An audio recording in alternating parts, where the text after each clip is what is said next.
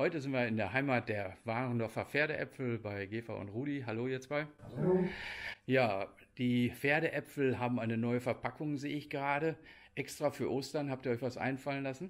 Ja, zu Ostern verpacken wir unsere beliebten Pferdeäpfel in einem Osterei.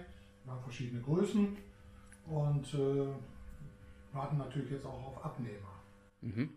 Und äh, die Überraschung zu Ostern muss man hier bei euch abholen. Man kann sie abholen, aber Man kann sie sich auch bringen lassen.